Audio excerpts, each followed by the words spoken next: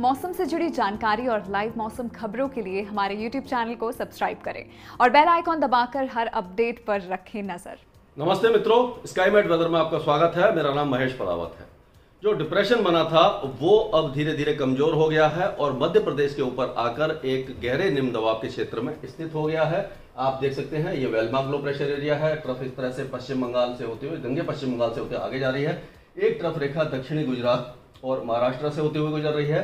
और ये मैंने ट्रैक बनाया है कि यानी ये वेदर सिस्टम इस तरह से आगे बढ़ेगा और यहाँ पर पूर्वी राजस्थान पर आकर एक निम्न दबाव के क्षेत्र में कमज़ोर हो जाएगा। लेकिन ये कमज़ोर होने के बावजूद भी काफ़ी अच्छी बारिश देगा, क्योंकि आप देखिए कि हवाएँ इस तरह से अरब सागर से भी आ रही हैं और यहाँ से घूम करके बंगाल की खाड़ी से भी आ रही है। यानी कि दोनों समुद्रों से जब नमी वाली हवाएँ आती हैं तो वेदर सिस्टम को खुराक मिलती रहती है, यानी कि उसको शक्ति मिलती रहती है और वो काफ़ी ज़्यादा उग्र रहता है, यानी वो बहुत जल्दी कमज़ोर नहीं पड़ता।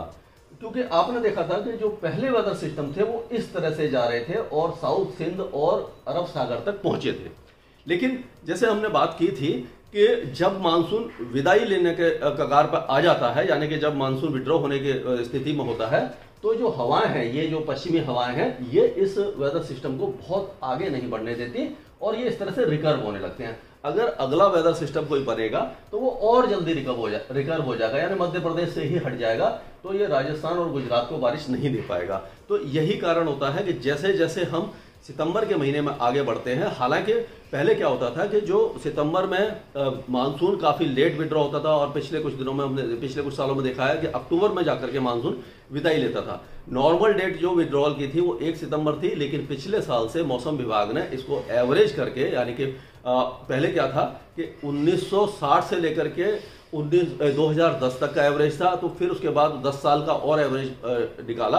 1971 से लेकर के 2020 तक का जो एवरेज है, उसके हिसाब से हमने देखा कि मानसून देर से विदाई ले रहा है, इसीलिए 17 सितंबर से नॉर्मल डेट को बना दिया गया है। लेकिन 17 सितंबर के बाद ही मानसून की विदाई हमें संभव दिखाई दे रही है। तो छोड़िए, ये सब तो बातें हैं, लेकिन अब हम बात करते हैं कि वेदर कंडीशन क्या रहने वाली है इस वेलमार्क लो प्रेशर के प्रभाव से।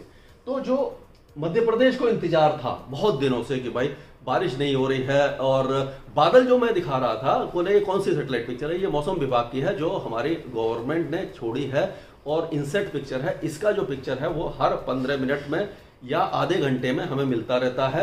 आप इसको देख सकते हैं, सभी लोग देख सकते हैं, लेकिन जो बादल कभी कभी दिखाई देते हैं, वो बादल तो होते हैं, लेकिन वो बारिश के बादल नहीं होते। उसको डिफ्रेंशिएट करना ही एक कला है, यानी कि एक स्टडी है जो मेट्रोलॉजिस्ट करते हैं।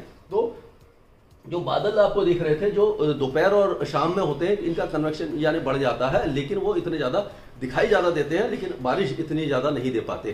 तो यही कारण था कि बादल तो दिख रहे थे, बारिश नहीं हो रही थी, लेकिन अब जो बारिश की गतिविधियाँ हैं, वो आपके पूरे मध्य प्रदेश को कवर कर जाएँगी, यानी कि मांडला से लेकर के नरसिंहपुर, बैतुल, होशंगाबाद, सियोनी, देवास छिंदवाड़ा से लेकर के और आगे तक, यानी कि पूरा धार, खांडवा, खरगोन, नीमच, रतलाम, उज्जैन और अलीराजपुर, बरमनी, ये सारे इलाके, गुना साजापुर शिवपुरी, ये सारे इलाके बहुत अच्छी बारिश अब देखने वाले हैं। और उसी तरह से ग्वालियर संभाग में भी बारिश की गतिविधियाँ अच्छी होने वाली हैं। तो ये जो सारी वेदर एक्टिविटी होगी, ये लगातार जारी रहेगी अगले दो तीन दिनों के दौरान। धीरे धीरे क्या होगा कि पूर्वी जो मध्य प्रदेश है, यहाँ पर बारिश की गतिविधियाँ कम हो जाएँगी, जब ये वेदर सिस्टम और आगे चला जाएगा। अब उड़ीसा और गंगे पश्चिम बंगाल में आज बारिश की गतिविधियाँ अच्छी होंगी। उसी तरह झारखंड, बिहार के कई इलाकों में, दक्षिणी बिहार में, गया और उसके दक्षिण में और उत्तर प्रदेश के जो जो यानी कि इससे मध्य प्रदेश से सटे हुए इलाके हैं, यहाँ पर ज़्यादा बारिश होगी, बाकी इलाकों में कम बारिश होगी। तो ये वेदर सिस्टम जैसे जैसे आगे बढ़ेगा तो छत्तीसगढ़ में भी जो बारिश की गतिविधियाँ हैं, वो अगले 24 घंटों के बाद कम होना शुरू हो जाएँगी, लेकिन अभी, अगले 24 घंटों तक, यानी अभी जो 24 घंटे हैं, तब तक काफ़ी अच्छी बारिश की गतिविधियाँ यहाँ पर रहने वाली है। तो ये सारा वेदर सिस्टम इस तरह से आगे बढ़ेगा, और राजस्थान में अब क्या होगा कि मूसलाधार बारिश होगी, क्योंकि ये जो लो प्रेशर एरिया है, ये यानी कि झुंझुनू, सीकर, अलवर भरतपुर से लेकर के सवाई माधवपुर अजमेर जयपुर और कोटा, बूंदी, बारन, भीलवाड़ा झालावाड़ चित्तौड़गढ़ से लेकर के ये यानी कि पूरा डूंगरपुर और यानी कि जो और दक्षिण वाले इलाके हैं चित्तौड़गढ़, उदयपुर, ये सारे संभाग में बहुत अच्छी बारिश देगा और पश्चिमी राजस्थान में बारिश की गतिविधियाँ कम हो जाएँगी क्योंकि ये रिकर्व करेगा। और उसी तरह से जैसे कि चुरू, बीकानेर में हल्की बारिश हो सकती है। हनुमानगढ़ और जो श्री गंगानगर है, वहाँ पर बूंदाबांदी की संभावना है। वहाँ ज़्यादा बारिश की संभावना हमें नज़र नहीं आ रही है। हो सकता है कि अगर ऊपर वाले की कृपा रहे तो 15 और 16 सितंबर को यहाँ बारिश हो जाए।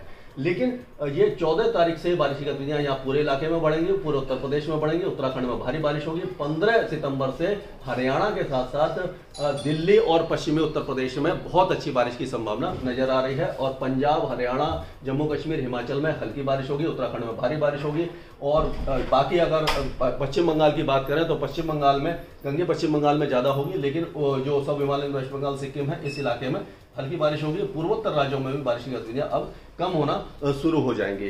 अब हम अगर और आगे बढ़ते हैं तो इसमें, इस वेदर सिस्टम को मैं आपको डिमार्क करके बताता हूँ कि बारिश जो है वो यहाँ से शुरू होगी, यानी कि ये आगे जाएगी और पूरा गुजरात को कवर करेगी। यहाँ से और ये पूरे इसको लेकर के इस तरह से बारिश पूरे इस सारे इलाकों को कवर कर सकती है। यानी कि हम कह सकते हैं कि दिल्ली से लेकर के हरियाणा और उत्तर प्रदेश और पूर्वी राजस्थान, गुजरात के पूर्वी इलाके और सबसे बड़ी बात है अगर महाराष्ट्र की बात करते हैं तो महाराष्ट्र में मुंबई और उसके आसपास के इलाकों में भारी से अति भारी बारिश होगी, बहुत तेज बारिश होगी अगले दो तीन दिनों के दौरान।